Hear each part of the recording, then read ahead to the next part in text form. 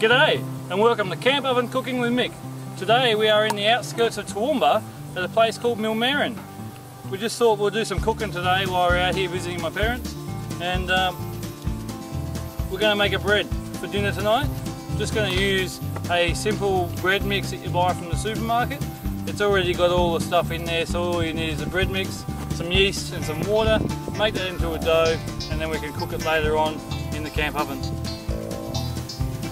In the bowl today I have three and a half cups of multigrain flour and into the bowl I'm putting one and a half teaspoons of yeast. Now into the bowl I'll be pouring about a cup of water into the bowl to the flour and now stirring it up for a while until it's a breadcrumb consistency to form a dough. Continue adding water until all the flour is combined into a firm dough ready for kneading.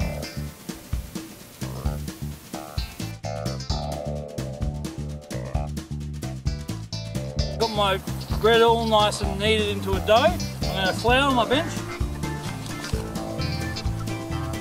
Whack it out there.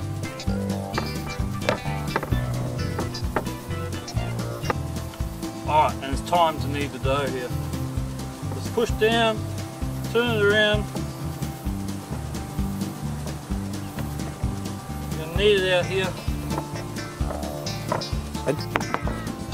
Okay, just keep kneading there, the bread for a couple of minutes, just until it's nice and elastic there. So we just got to let this one here sit for about an hour in a nice warm spot in the bowl, covered with a tea towel.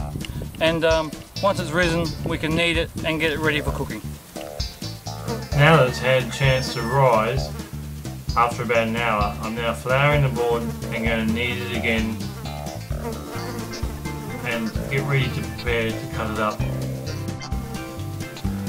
Cutting the dough into half, and half again, and then each half into quarters with a knife.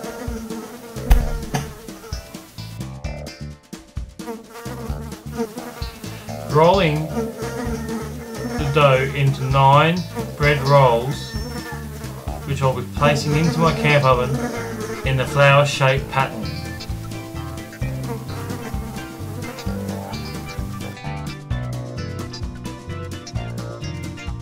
Alrighty, now I'm just going to put my bread rolls in here in a flower sort of pattern. Let them cook for 20, 25 minutes, just until they're ready.